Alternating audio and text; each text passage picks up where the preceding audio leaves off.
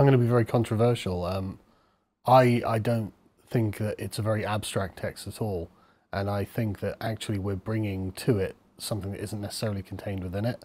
Um, for example, in the Art of War, when he um, says uh, to be like water, he what he's saying is don't be rigid, um, because the Art of War is a very practical book, and it's very directly about military tactics. It's explicitly about military tactics and about the management of armies in the field and before, and how to fight and win battles. Um, and so, when we imprint upon it this kind of um, I mean, it, obviously, it is from the cultural context that produced the Tao, right? So that th- that is true, but in that specific quote, he's being contextual, and it, contextually, he's saying that if you are essentially rigid and you stick to the same tactics, then your enemies will learn them and destroy you with them. Um, Yeah. And so wh- when he's saying you've got to flow like water, he's not um, he's not appealing to some sort of abstract uh, philosophical concept. Um, he's saying you have to adapt to the circumstances, um, and that's and I'm not saying you're wrong, obviously. But Mm-hmm. Of course, what, what. I'm saying is like on a much more immediate level, like he's saying in a specific metaphorical way to make sure that um, the the general he's advising um, understands that essentially the context is always king, the contingent is always the king on the battlefield, um, because a lot of people will approach any subject, but especially war, when we're so that's so dangerous, um, with quite rigid mindsets and a lot of preconceptions that may may or may not hold up. So you've got to you know move with the terrain, um, but it's it's it's not on. He's he's not appealing to a broader personal or philosophical position. He's saying no. In the immediate, people will die if you don't adapt to circumstance. I do agree with that, and I think it's actually important to talk about the tone of the text and how it differs from a lot of the other texts of Oh, the yeah. time. Because one thing that you can certainly notice about it is that um, it, it doesn't mince words, does it? No, it is pretty totally stark and explicit. And the, my point in bringing up the, the water aspect is simply that I found it interesting Yeah, I'm that not. it's circulating. And, I'm not saying it's not there, um, and I'm not saying it doesn't come from that cultural context. And you Sure. are, of course, right that you know the the the paradigm of ideas is the same and is obviously stretched back. And you know the the art of war is probably a collection of oral advice that got formalized into a text, as most ancient texts are. Um, and so that that is true. But like the, I think that you make a good point there. That like the the remarkable remarkable thing about the art of war is it feels like a Western text, it does, yeah. Yeah, That's a, and it is because it's very low to the ground and it's very direct. And you are you, you're completely right. The, in the West, we've got very straightforward and sort of firm, logical ways of connecting ideas. Um, you know, there's no, nothing like in the Tao. It's like, well, this is the, uh, the, the the the mystery between things that we're talking about. There's nothing like that in the West uh, because we're very empirical and pragmatic, and that and so Sun Tzu feels like he could have been writing in you know first century Rome. You know, this is this is like um, Maurice's Strategon, Strategicon, or something like that. You know, it's like no, you must do this, you must do that, you must do the other, or else you lose. I think that's part of the reason why people still read it to this day is that Yeah. it's aged so well because it's um, taking that very practical look at things, and you you can obviously understand why he's doing it. It almost seems obvious to to state it, but Yeah. it's that it's life or death. You know, the when it comes to philosophy and and things like that, it makes sense that they're trying to communicate all of the nuances and they, they don't want to be too forceful with pushing a single idea in, in the case that it's wrong and it's, it's misrepresented because, you know, in, in the Tao Te Ching, there's an understanding of the limitation of the human perspective to understand the truth of things. And that's certainly present in uh, The Art of War, but in a much um, more practical framing, in that you can be mistaken about the things in which you may have been taught. You've always got to be vigilant as to, you know, whether you've been mistaken and been misled, because, as as he says, um, deception is an essential part of warfare. Well, and all, so, all warfare is based on deception, yes, which exactly. is interesting. I don't know why I butchered that quote when Yeah. it's so. It's uh, such a classic. it is. and it's right at the beginning as well. Mhm. And what, what I love about um, Sun Tzu is he's just, like you said, he's not mincing words. He's like, look, I know you don't know. These are the things you need to be thinking about, and this is what you have to do. And it's just, there's not even any debate about it. And this is why everyone, it's a common critique of Sun Tzu say, oh, these are just obvious things, aren't they?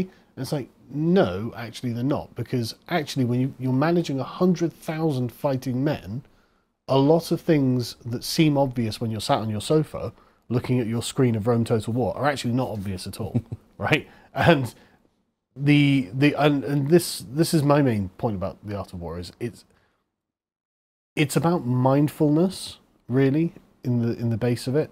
Um, because when when you are in a position where you have um, a, a certain number of things and people that you have to manage, it's very easy to become sort of myopic and solipsistic about this and say, right, okay, we've done these things.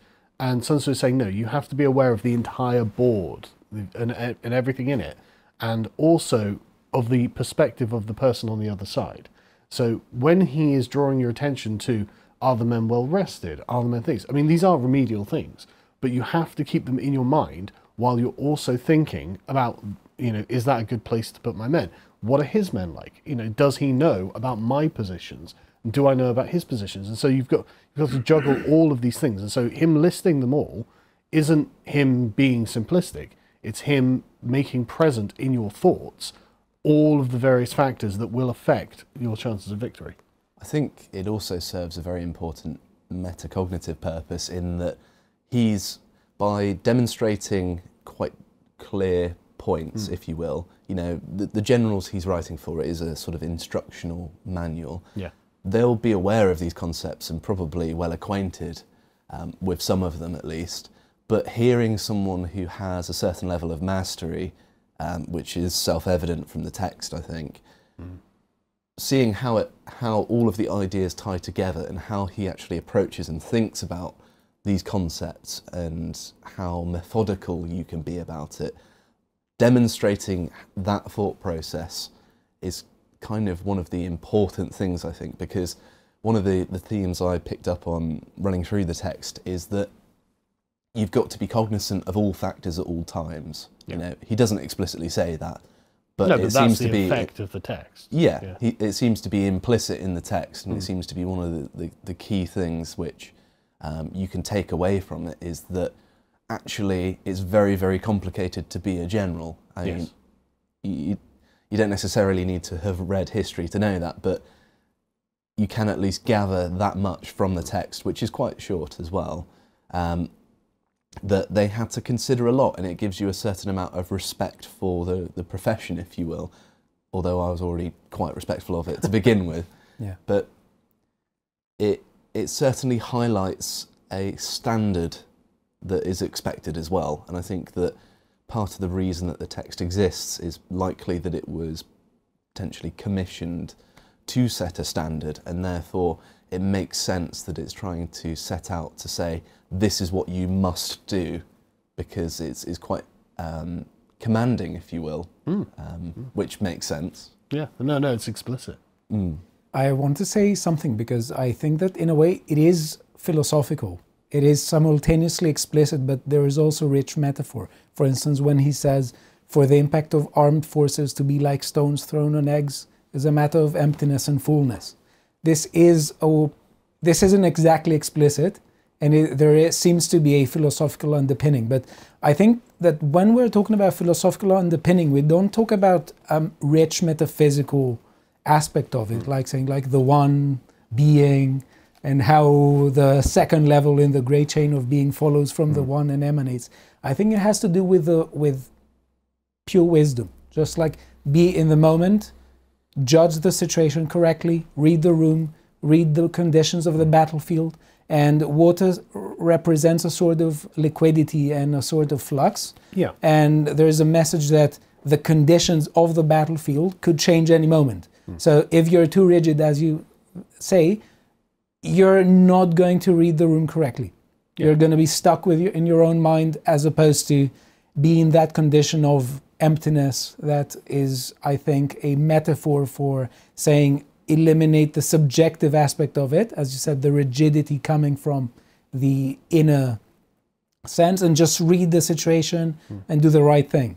Yeah, one one of the one of the points that when you take away from the overarching text is you have to have a plan. Yes. You have to know all of the situations in advance, and then you have to have prudent judgment of what's actually happening, so your plan and yourself can be flexible to deal with events as they evolve, uh, in Exactly. order to secure victory. Yes, and let me just uh, say the last quote from the first chapter. Um I quote from the translation of Thomas Cleary. That's the translation I'm going to use. Sun Tzu says, "The one who figures on victory at headquarters before even doing battle is the one who has the most strategic factors on his side. The one who figures in ability to prevail at headquarters before doing battle is the one who has the least strategic factors on his side. The one with many strategic factors in his favor wins. The one with a few strategic factor in his favor loses. How much more so for one with no strategic factors in his favor? Observing the matter in this way, I can see who will win and who will lose. Yes. I think this is very a very pithy way of saying what what you said before that mm. he focuses on intelligence, on knowledge of the battlefield and mm. also self-knowledge, knowledge of the army and. And Well, th- this this is something that's really well attested throughout military history as well. To be honest, Yeah. um, the the the classic example of this is Hannibal. Um, Hannibal had obviously spent a lot of time planning his campaign, and what the uh, the he, there's a I can't remember exactly the formulation. I suppose it depends on translation.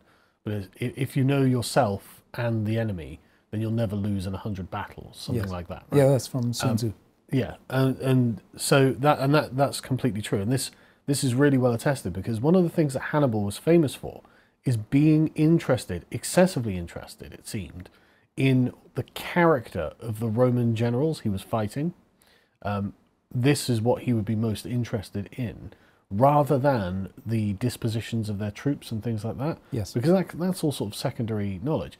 Because Hannibal's goal and Hannibal's strategy was to out psychologically outplay the enemy, and that's what Sun Tzu advises all the way through the book. Yes. You know, you've got to know why your opponent does this, and you've got to play. You've got to engage in a kind of psychological warfare, and that's why all warfare is based on deception.